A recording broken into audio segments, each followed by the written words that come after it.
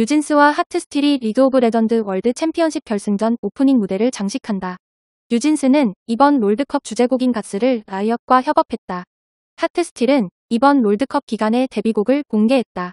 라이엇 게임즈는 역대 롤드컵 결승전 오프닝 세리머니 때마다 팬들에게 색다른 경험을 제공했다. K-팝 신드롬을 일으키고 있는 뉴진스는 롤드컵 결승전 무대를 위해 특별히 만들어진 오리지널 안무를 오프닝 세리머니에서 선보일 계획이다. 뮤직비디오에서 볼 수 있었던 요소들이 실제적이고 기술적인 효과를 통해 무대 위에서 생생하게 구현될 예정이다.